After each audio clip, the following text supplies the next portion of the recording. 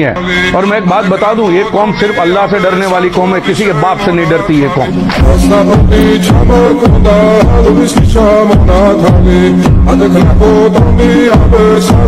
कौम